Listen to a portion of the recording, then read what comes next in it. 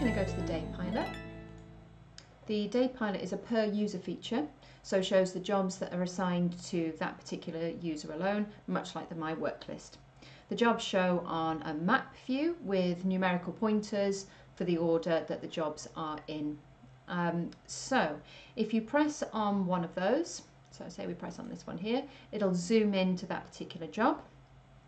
Um, and if you press the little car icon, it'll give you the option to navigate by address or coordinates. Address brings you to the central uh, point of that particular postcode and coordinates, if you've pinpointed it exactly in position on the map, takes you to a much more accurate point. Um, so we always advise going for coordinates if it's been pinned properly. Um, workers can also click on the details here, which will open up the job list, uh, the, the job view that we've seen before, and they can perform actions, the done and skip on there. They can contact the customer and add notes there just in the same way as they could before.